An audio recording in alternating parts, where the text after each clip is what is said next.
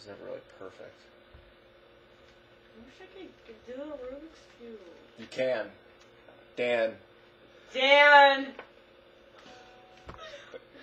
thanks for teaching us how to do a Rubik's Cube, man. I watched your video. I watched both your videos, uh, part one and part two, and then I watched part of this one too, Return to Normality, BBU episode 15. It's about eight, is it eight minutes in right now and it's paused. You're going. Um, thanks for the algorithms, man. Thanks for landing. out. awesome. Yeah, dude. I'm trying to master the art of the Rubik's Cube. Oh. It's happening much quicker now because of this technology. I love technology.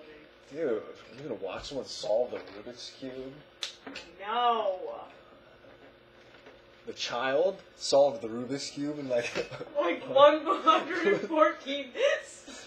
Dude, it was amazing. Oh, I know. Oh my god. Alright, man.